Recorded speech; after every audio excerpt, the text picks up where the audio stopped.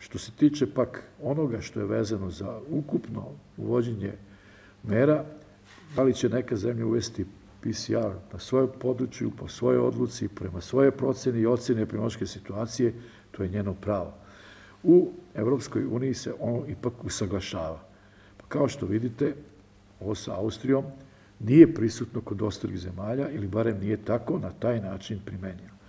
Mi o tome nismo danas razgovarali na našem kriznom štabu. Mi smo se jednostavno posvetili oceni i proceni epidemiološke situacije, za koju mogu reći da deluje da se sa tendencijom poboljšanja, ali da ne treba da shvatimo da ovo poboljšanje koje nam se ogleda u broju umrlih, u broju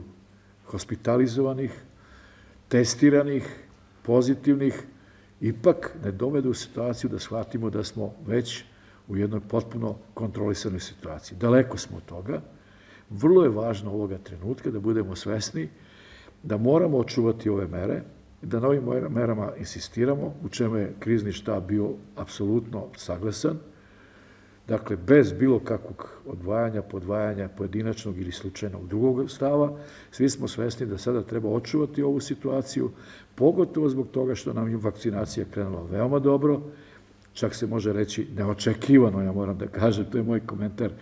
ovaj, tako dobro, i da bi bilo dobro da sada očuvamo tu situaciju epidemiološku, da se u mirnim uslovima, što mirnijim, sa mogućom tendencijom, dakle, opadanja broja pozitivnih, obolelih i normalno svih ovih pokazatelja koji nam govore o epidemiološkoj situaciji, možemo vakcinisati što veći broj u što kraćem vremenu. Normalno to će zavisiti od otura vakcine, ali koliko znamo, ovoga trenutka skoro da ni jedna zemlja, pogotovo u našem okruženju, ali možda čak i šire, na u odnosu na broj stanovnika nema toliko vakcine koliko mi raspolažemo. Prema tome, to su sve povezane stvari. Šta nam je cilj? Pa cilj nam je sigurno da pored kolektivnog imuniteta koji je stvoren prirodnim putem, za koji se kaže, zato baš ne može da se, da stoji neka studija, čekamo da te rezultati studije budu urađeni do kraja, da nam to kaže koliki je taj, da li je 30, da li je 35%, a sa vakcinacijom, ako bi uspeli da obuhvatimo što veći broj ljudi, to bi onda značilo da ćemo moći da postignemo kolektivni imunitet, možda čak i u narednih dva do tri meseca i dođemo u jednu mnogo bolju situaciju.